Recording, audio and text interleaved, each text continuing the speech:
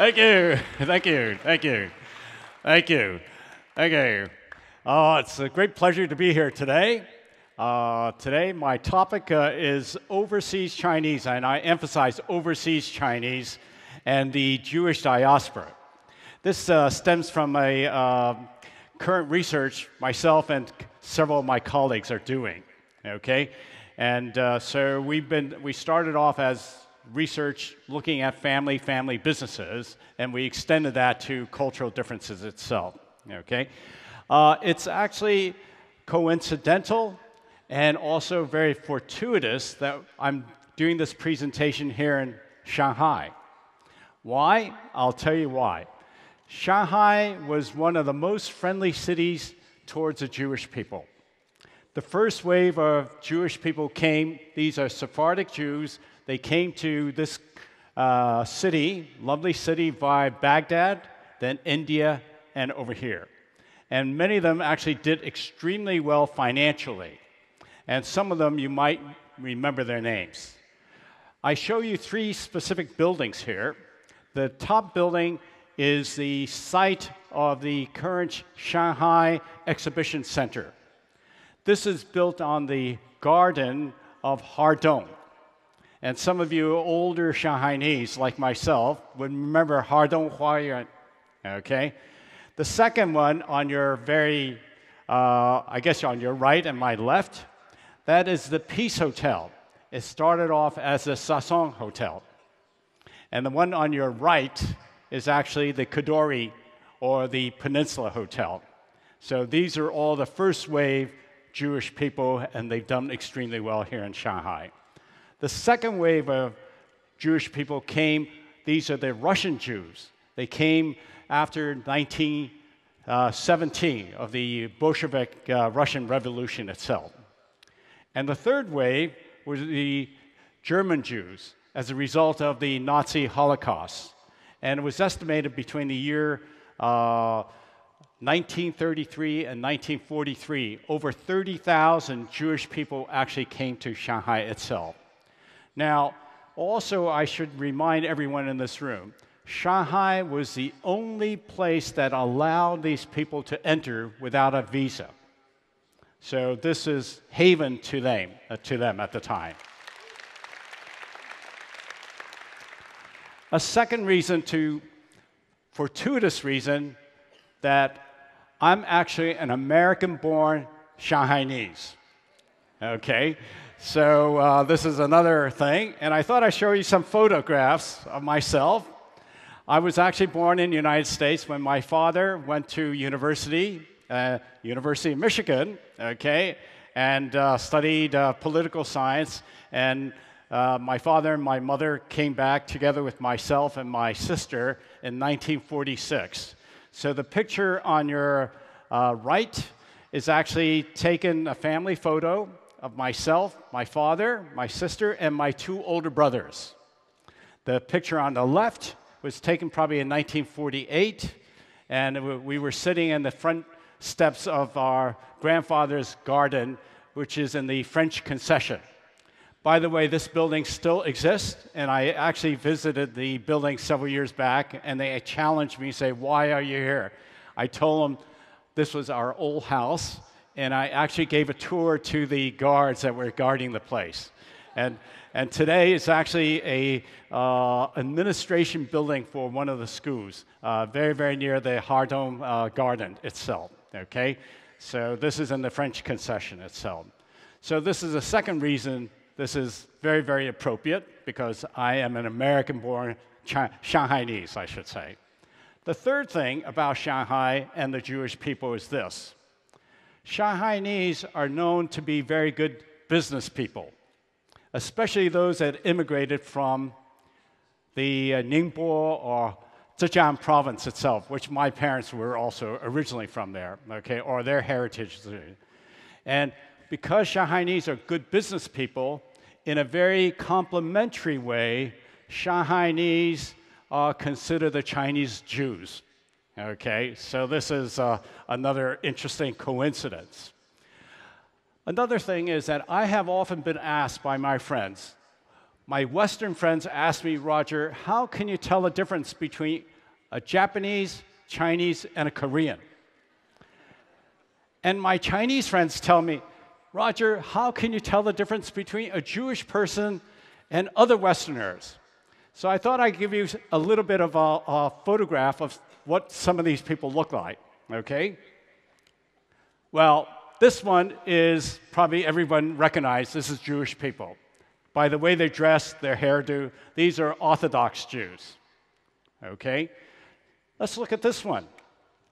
Now, you probably recognize many of these. You see Kissinger, right? You see Charlie Chaplin. You see Bernie Sanders up there, by the way. Is he Jewish or not Jewish? And there is Mark Zuckerberg. By the way, he's only 31 years old. He's one of the co founders of uh, Facebook. Today, he's estimated to worth 48 billion US dollars, 12 times more rich than Donald Trump. By the way, his wife is Chinese. Okay. So, how many of those are actually Jewish people? Actually, all of them. Right? So, can you really tell? Not easy. Now, I'll show you another photograph. Okay, which one's Japanese, which one's Chinese, which is Korean? Korean, Chinese, Japanese? Well, I had a difficult time. Okay, so anyway. Anyway, I mentioned that uh, there are 40 million overseas Chinese. About 30 million of those actually live in South China, uh, Southeast Asia countries itself. And about, there are about 4.4 million ethnic Chinese in the United States, making up about 1.3% uh, of the population. There are 14 million Jewish people globally. 40% actually live in the United States. Okay, this has some implication later on. And they constitute about 2.3% of the total population itself.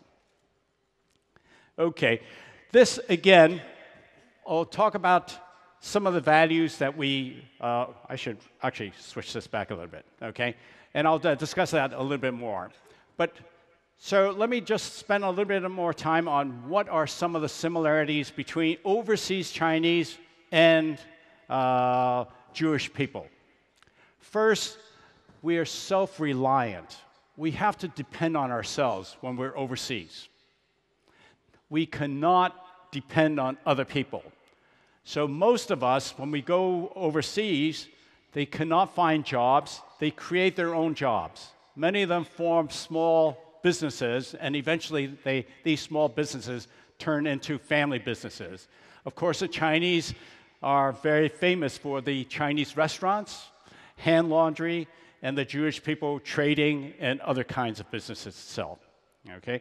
Another thing that we have something in common is that we're all very hardworking, particularly overseas Chinese.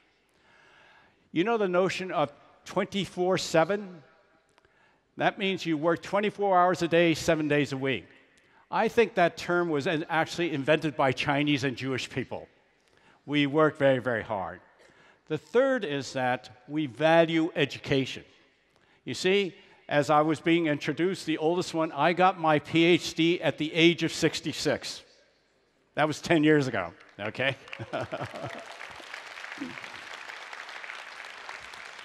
Today in the United States, of the Jewish people, 58%, 58% actually have a college degree, and 28% have an advanced degree. The entire American population, only 29% have a college degree, and only 10% have an advanced degree itself.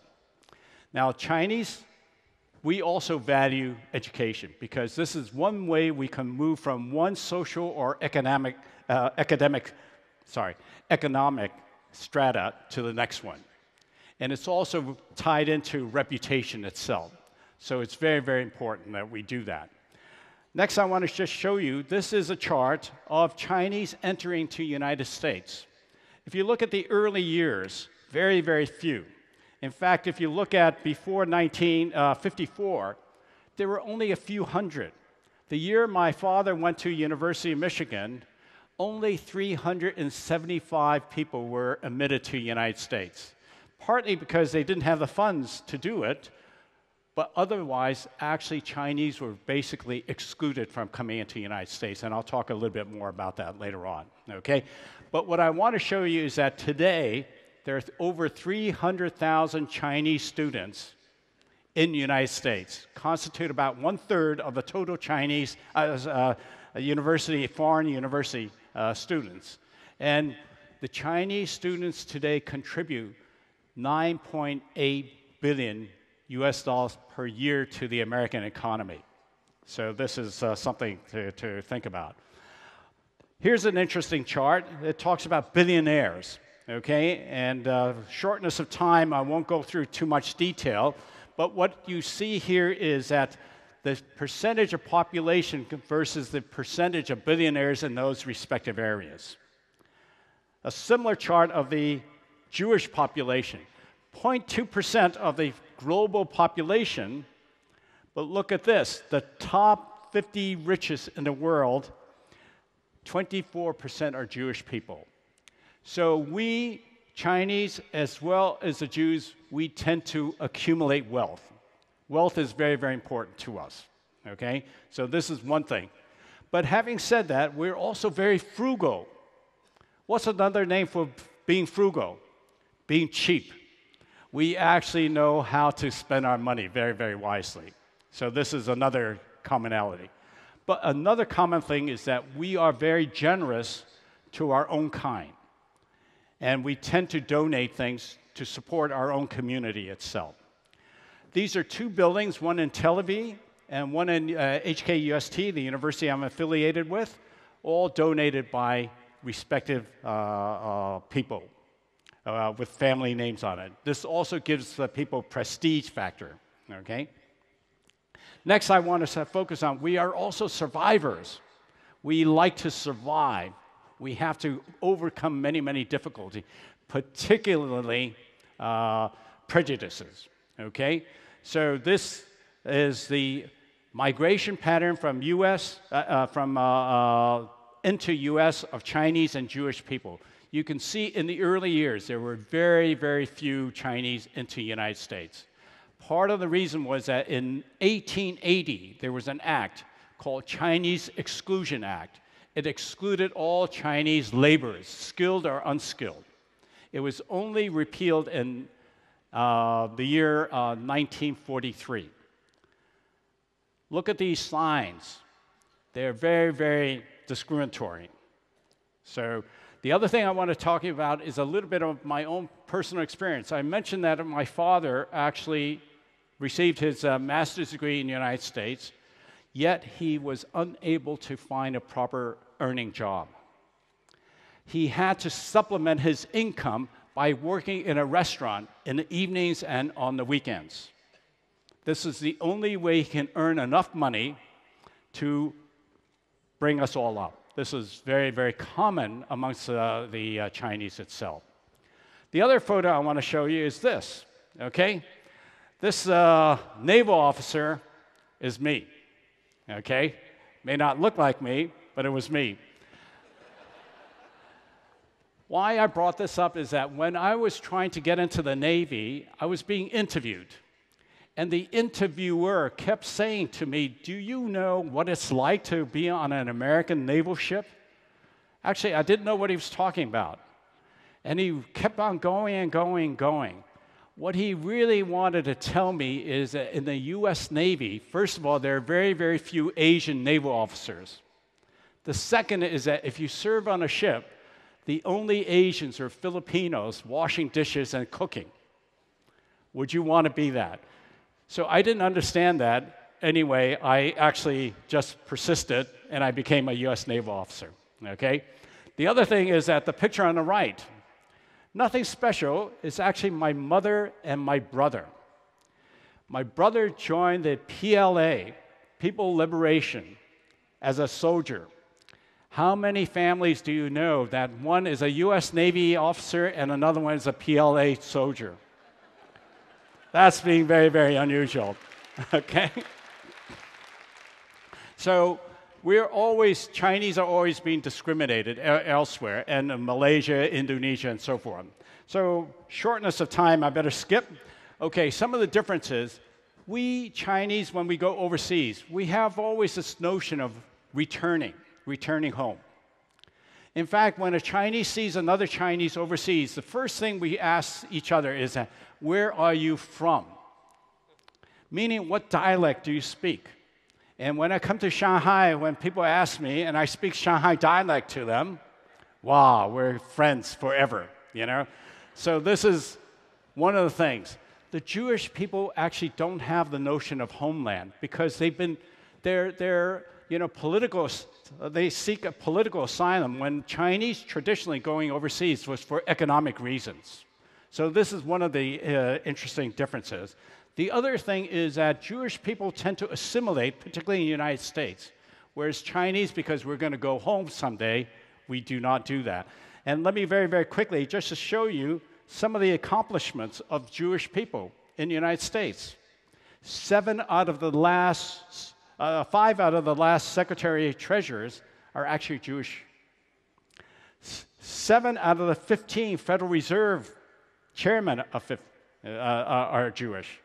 48% of the billionaires in the United States are Jewish. 23% of the Nobel Prize winners are actually Jews also. So you see how they are accomplished so much accomplishment? So my concluding remarks, I overran my time a little bit, okay? Today we see people migrating all over the world, particularly in Europe these days. So the thing they can learn from both us Chinese overseas as well as Jewish diaspora is one, self reliance. I mentioned that earlier. Hardworking and value education, education, education. As far as what overseas Chinese can learn from the Jewish people, we need greater unity. Go beyond just the language, dialectical bonding. Jewish people bond themselves as a race almost whereas we tend to bond ourselves dialectically. Assimilation, very, very important. Okay? This again is very, very important. And the last thing I put down is greater allowance, uh, uh, uh, allowance for individualism. We, because of the Confucianism uh, philosophy, we the parents tend to guide the next generation as to what to do. So let the young generation do what they best and what they can achieve. And so, anyhow, I'd like to leave you one additional similarity we both Chinese and Jewish people have is that we both love Chinese food. For three reasons. One is it tastes good. Second is money, value for money, meaning it's very cheap. And the third is that the only restaurants that are open on Christmas Day. so, with that thought, I thank you all, and it's been a pleasure to be here. Thank you.